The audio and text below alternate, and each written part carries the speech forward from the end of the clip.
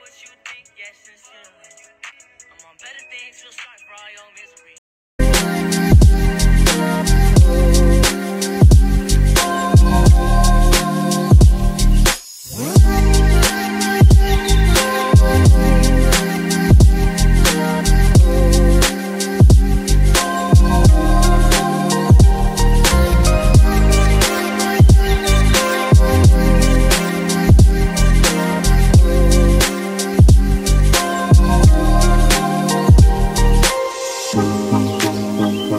Thank you.